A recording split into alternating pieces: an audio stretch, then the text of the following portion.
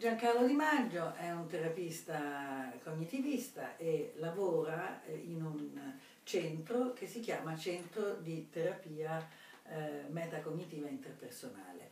Eh, Giancarlo Di Maggio è un clinico molto esperto e un, eh, uno degli italiani in area cognitiva che pubblica di più su riviste importanti all'estero, soprattutto di, recentemente si è occupato di metacognizione nella psicosi. Sì. Ah. E comincio anche, e comincio dalla prima domanda. Yes. Ciascuno di noi ha dei principi a cui si riferisce. Quali sono, secondo te, i principi rinunciabili per te? Guarda, eh, sarebbero tanti, ci ho riflettuto e forse quello che mi è più a cuore, quello che guida di più la conduzione della seduta e la ricerca costante di un assetto relazionale di contatto con il paziente. Cioè qualunque intervento io faccia, sia un intervento tecnico volto al cambiamento sintomatico, volto all'incremento delle capacità riflessive, volto alla mh, programmazione di esperimenti comportamentali per costruire nuove aree di sé, mi rendo conto che il mio obiettivo primario è sempre quello di cercare un feedback e capire che io e il paziente siamo sullo stesso livello, siamo connessi e condividiamo lo scopo. Se qualunque segnale, verbale, non verbale, mi dice che qualcosa nella relazione non sta funzionando, cambio completamente la gerarchia, l'assetto del, della conduzione della seduta e voglio capire che sta succedendo finché non si è ristabilito il contatto. Mm. Senti Giancarlo, ma questo principio così relazionale, come si traduce tecnicamente in come tu lavori? È una sorta di principio che accompagna tutto il resto. Chiaro che eh, nel modello metacognitivo interpersonale, nella terapia metacognitiva interpersonale, abbiamo degli obiettivi eh, finalizzati al miglioramento dei sintomi, al miglioramento delle capacità metacognitive, autoriflessive, chiamiamole come, come ci pare, e al, alla, alla, alla, ristrutturazione della personalità. Mm. Quindi questi sono gli obiettivi che perseguiamo. Ah. Questi obiettivi sono perseguiti nel contesto di un dialogo in cui la connessione umana, il contatto, la condivisione e la condivisione degli obiettivi devono sempre essere percepibili. Se non lo sono, è, diciamo, non è un obiettivo, come dire, non, non lo porterei come un obiettivo di carattere, come dire, morale, di carattere di, di principio. Semplicemente clinico. la percezione, sì, è clinico, cioè nel senso che se non c'è contatto tutto il resto funziona meno bene. Oh, e, se, e se tu mi dovessi dire questo tecnicamente come lo fai e che cosa vuol dire? Che è la terza domanda. Eh? Assolutamente, ma noi passiamo agilmente da una domanda all'altra. Ehm, allora, la gerarchia dell'intervento dipende da tanti fattori. Mm. Mettiamo che stiamo lavorando su un sintomo in un mm. paziente che ha anche un disturbo di personalità. Mm. Per cui esplori i meccanismi psicopatologici, i processi cognitivi affettivi sottostanti al mantenimento del sintomo e io ehm, esploro il feedback del paziente. Cioè vedo a livello... Lo guardi? Lo guardi, però costantemente c'è un contatto, un'attenzione estrema al feedback, al feedback, ripeto, verbale e non verbale. Anche facciale. L'attenzione alla prosodia, all'espressione facciale, al, ai, gesti. ai gesti è costante, non, oserei dire ossessiva. Mm. Okay? Se sento che mentre sto applicando una tecnica, un intervento, esplorando qualche cosa, chiedendo delle cose, chiedendo degli episodi narrativi, ma il paziente mostra dei segnali che mi fanno intuire che nella sua mente c'è altro, c'è qualche cosa di disturbante, c'è qualche cosa che non, non, gli permette di seguire l'intervento o che magari c'è qualche cosa con me, a quel punto sposto l'attenzione sul che cosa le sta succedendo in questo momento. Mm, quindi vai sull'ore adesso. Sull'ore adesso con domande dirette. Con, domande di, con osservazioni dirette e con domande dirette e soprattutto una cosa che faccio sempre, c'è qualcosa che sta funzionando o non sta funzionando adesso legata a me Mm. Cioè costantemente come terapeuta e i miei colleghi all'interno del modello condiviso eh, è un terapeuta che si mette in gioco continuamente. Okay. Cioè si sente parte della costruzione del processo relazionale, se ne prende carico di gran parte della responsabilità e, e, e, vuole costantemente dare al paziente la possibilità di capire che esplorare la mente del terapeuta ed esplorare come sta andando il processo terapeutico è un luogo sicuro, lo si può fare, il terapeuta lo invita a fare, lei ha qualche cosa che io sto facendo che non funziona, me lo dica, perché così mi aiuta a diventare un terapeuta più adeguato e a riprendere vicinanza con lei. Ah, okay. questa cosa qui tu lo fai anche guardando lo spostamento d'occhi? Qualsiasi, cioè... qualsiasi segnale, insomma. Ah, per esempio certo. c'era una paziente che iniziò la prima seduta, una terapia che sta andando avanti molto bene, anche presente nel, mm. nell'ultimo manuale, mm. ho, ho, preso alcuni estratti da questa terapia, fece la prima seduta e guardava la porta e la finestra, no? Mm. E le chiesi, ma mh, mm, che succede? E lei disse, guardi, le devo dire, sono venuta perché sto molto male, avevo un lutto recente che poi di fatto, eh, come dire, era sotteso da altre strutture, e, però io non, non ho grande fiducia negli psicologi, nella, non so se come categoria funzionate, funzionate e io ho molto chiara la via d'uscita. No? E io le dissi subito, guardi, si vede, si sente, lo capisco, lo rispetto. Se nel corso della nostra conversazione continua a avere questi segnali, me li dica. Se io faccio qualche cosa che li rinforza, me lo dica la terapia poi è andata benissimo perché poi c'era tutto un tema legato avete creato anche un'alleanza in cui questo poteva, poteva essere, essere fatto assolutamente ah. poi aveva tutto un tema di evitamento delle emozioni dolorose legato al lutto ma questo è stato poi ampiamente affrontato ma tu fai anche delle confrontazioni più dure perché, perché in ah. realtà ecco cioè tutto è in un'alleanza, ma esistono anche dei momenti della terapia in cui bisogna dire no un attimo, questa cosa è difficile. Allora, ehm, soltanto in caso di eh, diciamo, rotture dell'alleanza estreme. Cioè se il mm. paziente diventa eh, irrispettoso, ma deve essere proprio irrispettoso in maniera sgradevole, okay. volgare, sgarbato, aggressivo, eccessivamente seduttivo, questo magari capita più alle colleghe mm. donne che possono affrontare pazienti che diventano estremamente seduttivi, anche intrusivi, mm. allora sì, guardi, mi scusi, Questa questo è un'area che diciamo io ho rispetto verso di lei, lei abbia rispetto verso di me, perché non ci sono le precondizioni per la terapia, quello che farebbe probabilmente, insomma, non so, penso che il gruppo di Clarkin e Kerber lavorano molto in quella molto direzione, questo, ma sì. credo che sia un principio generale della terapia. Sì, sì. Ma al di là di casi estremi, eh, l'intervento duro, diretto, normativo, è una cosa che cerchiamo al, per quanto possibile di evitare. Senti, eh, c'è un'altra domanda che è, è questa tu quando una terapia, tu hai detto questa terapia è andata bene, come valuti nel tempo? Hai delle procedure per valutare l'andamento delle terapie? Ci sono, sì, sì. Ci sono mh, mm, vari parametri. Mm. Ci sono dei parametri. Anche testistici? Tutti e due. Ci sono dei parametri del colloquio clinico e dei parametri testistici. Allora, i parametri testistici dal punto di vista operativo in questo momento nel nostro centro sono legati a un piccolo studio di efficacia. Stiamo cercando di iniziare a testare l'efficacia della terapia metacognitiva interpersonale per i disturbi di personalità e lo stiamo facendo con un open trial, quindi una, diciamo una serie di casi singoli selezionati secondo dei criteri di inclusione specifici e questi pazienti vengono testati ogni tre mesi. Abbiamo creato apposta per per mettere la misurazione.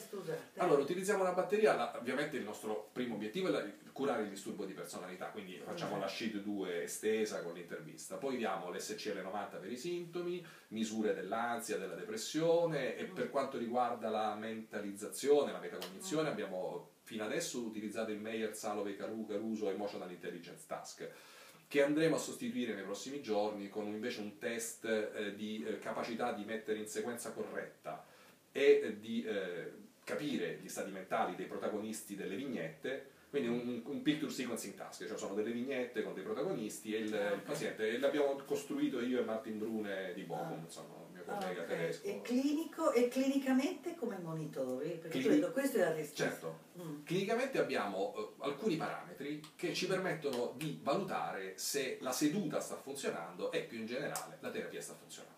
Mm eh, un primo parametro, che è ovvio per tutti i clinici, è il sintomatico, cioè se il sintomo peggiora vuol dire che c'è qualcosa che non sta funzionando. Spesso nei disturbi di personalità questo non è in realtà un criterio particolarmente rilevante perché sono talmente sensibili, soprattutto quelli più gravi, a ehm, eventi di vita che possono precipitare il sintomo, per cui non è che la terapia sta andando male, ma c'è certo. stato un evento, un abbandono, un lutto, un problema certo. relazionale, un problema lavorativo, un aumento dell'esposizione che genera un peggioramento, però sicuramente un parametro da tenere in considerazione. Il secondo punto, adesso non te li dico in ordine gerarchico, mm. te li dico come, come li utilizziamo, è la, la, qualità della relazione terapeutica, cioè se in seduta c'è una rottura dell'alleanza, il paziente si distanzia e diventa più critico, mm, non fa gli homework, quello che sia, vuol dire che okay. c'è qualcosa che non sta funzionando.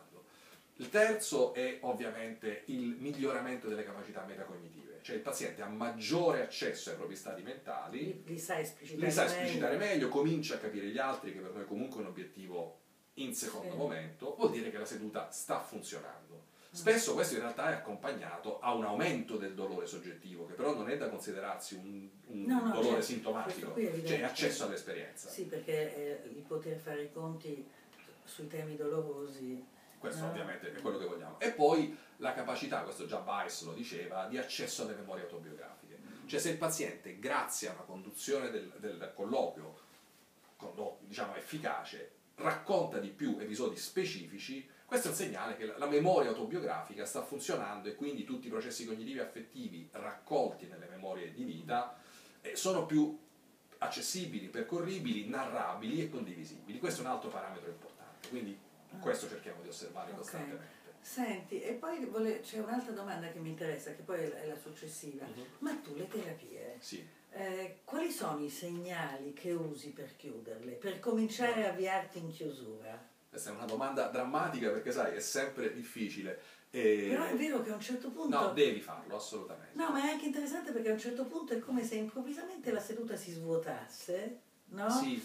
Eh, si svuotasse di contenuti, occorre una sensibilità perché magari si è lavorato insieme per anni, così. Certo. A un certo punto diventa un po'... Tu come, sì. come ti guarda, muovi? I parametri classici, alla fine Freud, una delle cose che ancora oggi mm. reggono è la capacità di amare e lavorare. Cioè se il mm. paziente mm. recupera capacità di avere relazioni affettive ah, okay. o amicali ah, okay. e un funzionamento sociale adeguato alle, al contesto socioculturale, questo è un grande parametro. Mm. Se i sintomi si sono ridotti in maniera significativa, anche questo è un, uh, ovviamente un indicatore molto importante. Sì. E l'indicatore emotivo tuo in seduta? L'indicatore emotivo è... Mh, che eh, la conduzione del colloquio comincia a assumere una, um, uno stile conversazionale più amicale. Sì, cioè nel senso che in realtà diventa più piacevole starci, è più piacevole passare Però tempo insieme. Meno. Però serve meno e il paziente stesso lo comincia a capire. Ovviamente c'è sempre da fare un attimo di attenzione al fatto che non si stiano evitando certo. degli altri temi problematici, ma questo lo esplori attraverso una serie di domande.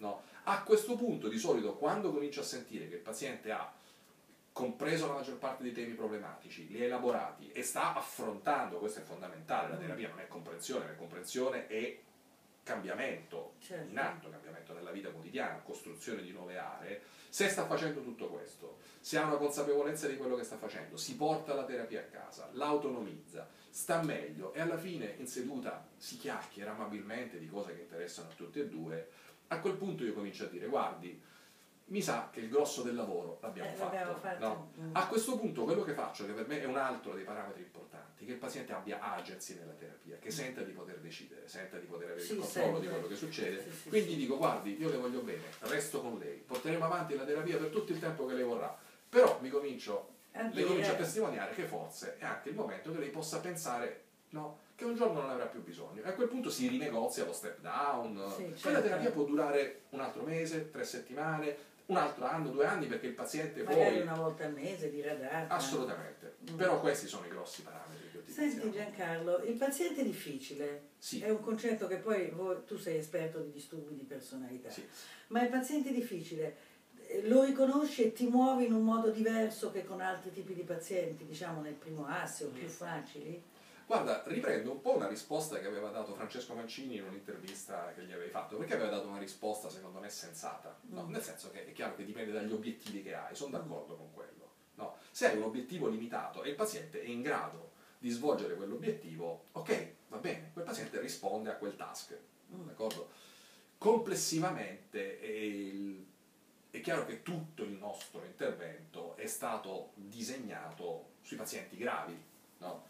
Quindi pazienti che hanno difficoltà relazionali, difficoltà nello stabilire una relazione terapeutica, e livelli sintomatici spesso alti, un set di schemi interpersonali che gli rende difficile adattarsi, vivere la, la, la, la, varietà delle relazioni interpersonali in un modo che sia benefico, soddisfacente, e quindi il nostro intervento, o, o che abbiano delle risorse socioculturali o dei, delle disfunzioni metacognitive che gli impediscono di beneficiare del trattamento. Oh, e Quindi, come modifichi il tuo intervento sul paziente difficile? Questa è una domanda un po' strana fatta a te mm. che ti occupi sostanzialmente di pazienti mm. difficili. Eh. E quasi andrebbe rovesciata. In realtà il nostro intervento è Per- mirato per i pazienti difficili, quindi noi di fatto, allora, eh, ci sono chiaro tantissime cose eh, che Sì, no, vanno adattate, però direi sicuramente un parametro è quello di lavorare sempre, chiamiamola nella zona terapeutica di sviluppo prossimale, Mm. cioè utilizzi le capacità di comprensione di se stesso e degli altri che il paziente ha e cerchi di promuovere il livello immediatamente successivo. Ok? Ah, La sì. negoziazione dei compiti e, e degli obiettivi e dei compiti è costantemente in atto. E poi forse anche quello con cui hai cominciato, una modulazione più attenta della relazione. Allora, Perché- questo è fondamentale, perché ass- so- assolutamente sì, perché sono pazienti che hanno... Allora, il paziente difficile può avere difficoltà perché gli mancano schemi, hanno poche risorse, sono bloccati da Soffre tante troppo. anticipazioni negative questo può avere un impatto sulla relazione terapeutica, può non averlo. Molti di questi pazienti hanno delle aspettative relazionali che li portano a relazionarsi col terapeuta in una maniera che le rende la relazione difficile. Come terapeuti cerchiamo di attrezzarci in tutti i modi possibili, la riflessione in supervisione, la comprensione del caso clinico, la case formulation, in alcuni casi anche la terapia personale, quando il paziente ti va a toccare in dei nuclei che non riesce a gestire. E diciamo che il terapeuta di terapia metacognitiva interpersonale costantemente osserva il proprio stato interno di fronte al paziente e cerca di trarne informazione per regolare l'assetto relazionale. Non con la stereotipia, questo per me è importante, che se io sto provando un'emozione negativa, questo il paziente me la manda. no, anzi, questo No, è pericolosissimo. Assolutamente, perché poi è colpevolizzante. Perché se qualcuno mi ricorda qualcosa che è solo mio, rischio di ributtarglielo addosso. E anche, È anche guarda, un errore tecnico gravissimo. Assolutamente. E guarda, anche per dire, io ho cominciato a occuparmi di narcisismo per anni, Mm. no? Il paziente narcisista è vero, ci sono anche prove empiriche, che evoca più o meno in tutti i terapeuti quelle 4-5 reazioni tipiche. Mm. Possono essere senso di frustrazione, senso di sfida, senso di essere particolarmente figo, non visto. non visto, tenuto a distanza, un misto di queste cose. Mm. Sedotto, rifiutato, no? Allora, è chiaro che tutti i terapeuti tendono a reagire su queste cose, però il modo in cui l'impatto arriva a me non è, perché io ho la mia storia personale, ma la mia collega ne può avere una diversa. Certo. E allora non posso dire io provo questo perché il paziente è narcisista. No, certo no. Io provo questo perché il paziente è narcisista. E io serve- sono così. mi serve intanto per capire che, ok, non devo assecondare questo stato d'animo, e quindi mi devo modulare. Dopodiché eh, l'impatto spesso è una cosa che invece per poterlo regolare davvero devo andare a analizzare dei miei temi personali. Questo, questo è forse la cosa tipica, anche per gli allievi. Imparare questo, se Sì, vuoi, per me è è fondamentale. la cosa che uno fa con l'esperienza, ma anche alla fine della scuola, quando si rende conto quanto porta.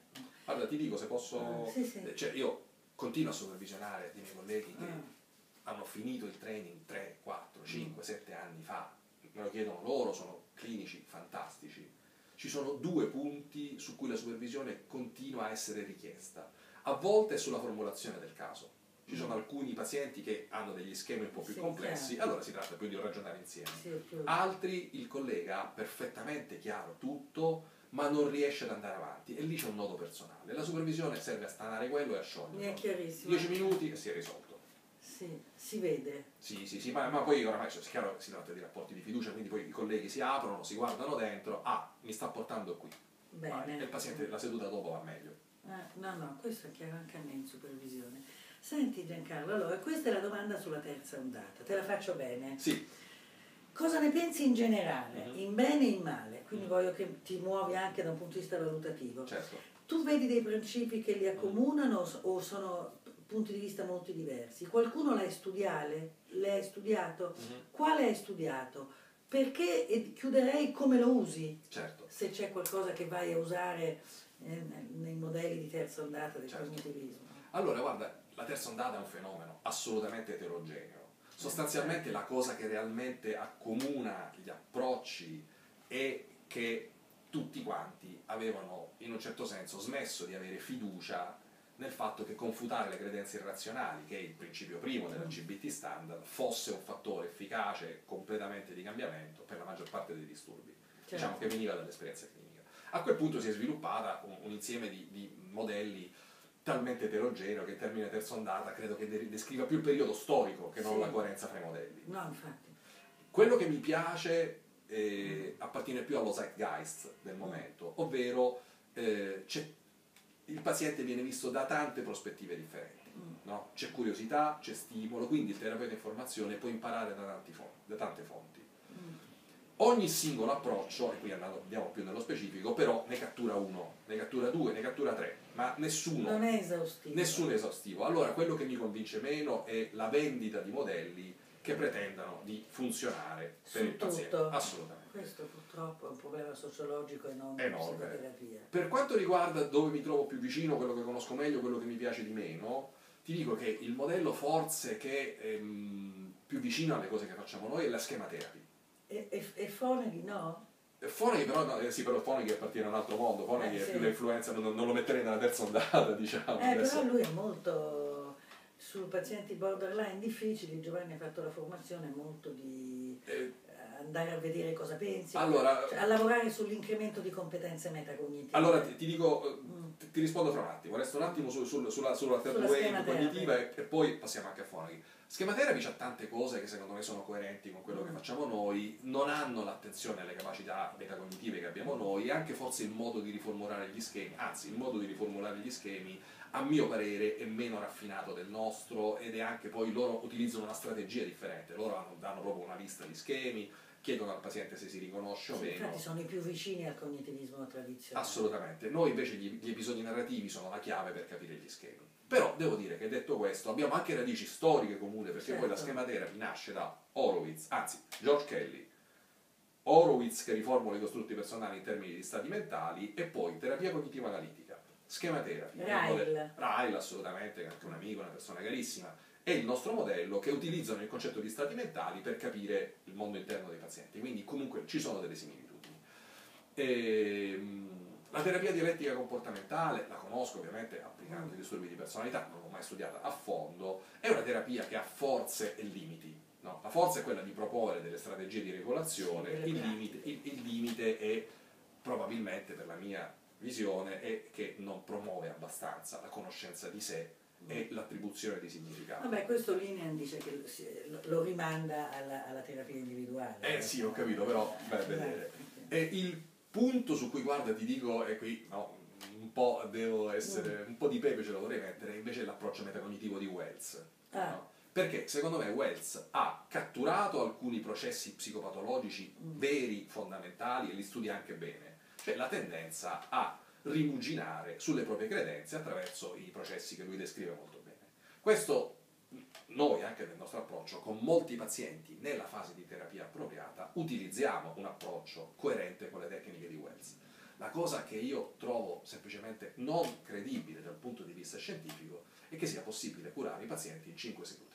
No, chiaro, non ci credo, semplicemente non ci credo. Vabbè, ma sono un certo tipo di pazienti ansiosi o depressi lievi o moderati, cioè eh, adesso lui sta, lui in realtà lo dice, adesso sta lavorando sui border, ma è un early beginning e come andrà mm. a finire, secondo me, su, su, alcuni, su alcuni pazienti magari, io l'ho visto, che hanno fatto un lavoro analitico eh, importante o anche mm. no, nostro classico certo, certo. e che arrivano con questo pezzo ruminativo di cui non si riescono a liberare e c'è quell'intervento che può essere utile sì, eh, ma con quelle condizioni così come Watkins cioè, assolutamente eh, ma se mi vendi che quello è il trattamento il paziente ti arriva eh, eh, ti, ti, presenta la clinica di Manchester adesso mm. non, non, so dove, dove sì. sta Wells e capito fai lo screening e in 5 sedute l'hai salutato e magari di temi di vita non hai proprio parlato no Forse per, forse per, quel tipo di pazienti può essere utile. Guarda, ma non sono quelli che... Ti direi di sì, ma secondo me hanno una fortuna perché tutti a Manchester vivono. cioè io non incontro i pazienti così. Senti, andiamo, andiamo, all'ultima domanda. Allora, che in realtà è Fonaghi. Che in realtà è anche Fonaghi, sì. L'integrazione con gli approcci non cognitivi, cosa ne pensi? Io ogni volta che faccio questa domanda dico che in realtà nessuno di noi oggi è in grado di fare un'integrazione, facciamo mm, una certo. eh, assommazione, certo. andiamo lì, prendiamo, prendiamo. Mm. Cosa ne pensi? Lo fai? Mm-hmm. Come lo fai? E ti è utile? E questa è anche un po' l'ultima domanda. Sì. Mm. Allora, guarda, io per anni mi sono portato l'etichetta di essere il più cognitivista degli psicanalisti e il più psicanalista dei cognitivisti. Questa mm. guaio mio, insomma, che adesso che forse sono riuscito a risolvere, non so con quanto successo.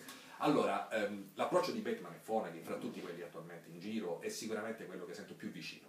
Ah, ok. E conosco Bateman, li ho visti insieme, tra l'altro sono due persone spiritosissime, divertenti, Bateman è un clinico eccezionale. E, mh, devo dire che negli ultimi tempi sto... co- allora, abbiamo totalmente in comune l'idea che l'obiettivo principale, un obiettivo principale della terapia è quello di aiutare il paziente a dare voce agli stati mentali, cioè a Mm. tradurre le cose che sono evidenti nel comportamento, nel non verbale e a dargli un senso. Mm. E, e questo ci siamo completamente, quindi anche utilizzare le capacità mentalizz- mentalizzanti o metacognitive per, eh, come guida del trattamento, quindi non andare troppo al di sopra di quello che il paziente può capire, sicuramente è un principio condiviso. Eh, ci sono un paio di cose che adesso comincio a capire che sono delle differenze.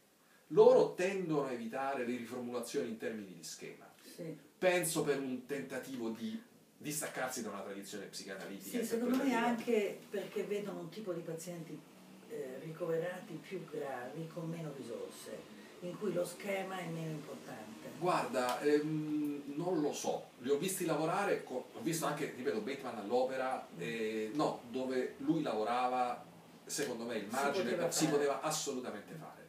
Eh, per cui no, lì c'è un margine Mm. importante. Poi questo però non so quanto, eh, oltre alle- a promuovere le capacità riflessive, hanno strutturato la parte per la ristrutturazione della personalità. Questo può essere un secondo Mm. O comunque un secondo marcatore di differenza. Quanto hanno chiaro lo schema di sviluppo. Lo schema di sviluppo è come soprattutto invitare il paziente a fare delle cose per rompere il pattern e, costruire nuove modalità di comportamento e di attribuzione di significato. Mm. Cioè sembra più una terapia per, dar- per- per aiutare a Ah, ma capire... tu queste cose le utilizzi? Assolutamente, Sì, no, cioè no. metti dentro de- delle cose che arrivano, dei pezzi Kernberg, prima hai citato Kern, Sì.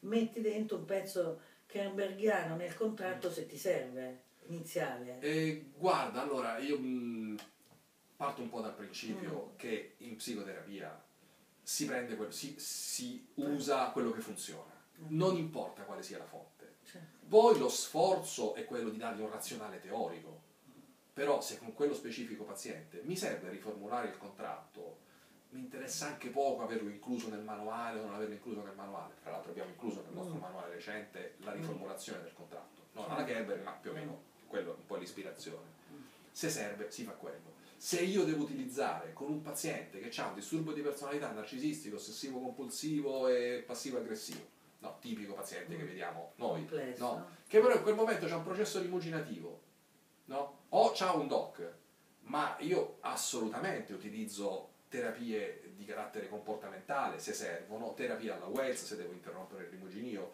Cioè, la cosa importante è essere aperti a utilizzare qualche cosa che è coerente con la psicopatologia, coerente con la case formulation e, coerente col fatto che può servire al paziente. Senti Giancarlo, ti faccio una, una ultima breve domanda. Ma tu come lo vedi il futuro della psicoterapia? Oddio, questa è una bella domanda. Io ehm, eh, sono eh, incorreggibilmente un ottimista. Mm. Cioè, in qualche modo è come se il mio sguardo fosse sempre orientato al futuro. E ci sono 10.000 problemi legati a logiche di mercato, legati a logiche di finanziamento, legati al modo in cui i trial vengono scelti, condotti, selezionati. E quello è sicuramente un impatto ri- ri- rispetto alla difficoltà proprio a proporre ai pazienti trattamenti psicologici invece che psicofarmacologici e basta o nell'utilizzare lo scibile per il meglio del paziente, quindi ci sono 10.000 problemi. Però quello che vedo è che il terapeuta di oggi rispetto al terapeuta di 20, 30, 40 anni fa ha di fronte a sé un ventaglio di modalità di vedere il paziente molto più ampio e Più soprattutto i con- Effi- efficaci scientificamente. più efficace, più testate e i confini fra le scuole si sono ridotti. Assolutamente, Beh, questa è quindi- la tua... questo è fondamentale. Quindi il- l'allievo che vuole apprendere, capire, allargare la mente ha tanti strumenti. Quindi tu vedi una terapia meno ideologica e Assolutamente. più, e più informata. Assolutamente, assolutamente. Va bene, Giancarlo, grazie tante. Grazie Sandra per la chiacchierata e grazie a voi.